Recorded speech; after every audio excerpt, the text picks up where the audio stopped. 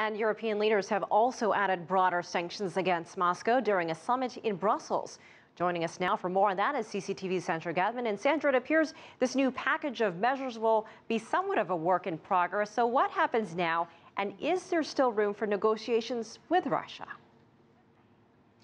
Well, Elaine, EU leaders have always maintained that the door for diplomacy has been left open to Russia, but of course the window for cooperation is slowly closing.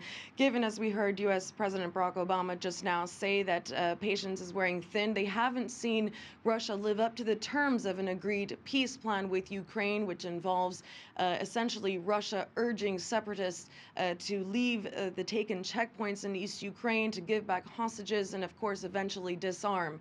So uh, as a result, European leaders meeting in Brussels uh, this evening have decided to increase sanctions, perhaps not as far as Washington was prepared to go, but nonetheless, uh, they've uh, decided to ask the European Investment Bank to suspend uh, the financing of development projects in Russia. They've also asked the European Commission here in Brussels to look into, on a case by case basis, how to abandon uh, joint projects with Russia as well.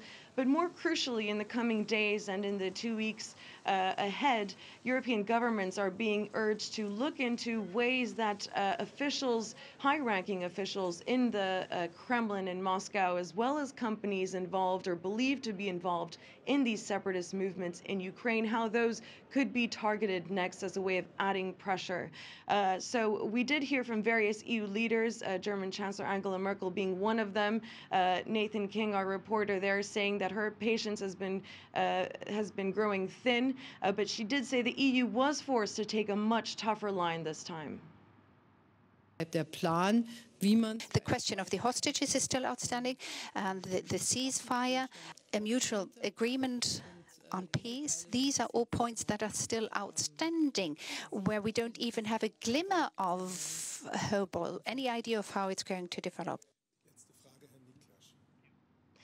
Now, of course, this summit wasn't meant to be about Ukraine. It was somewhat hijacked by the crisis there. It was meant to be about European leaders selecting top jobs for the next European Commission, a foreign policy chief being one of them. They haven't come to an agreement yet, and they'll be uh, addressing that issue later in August when they reconvene.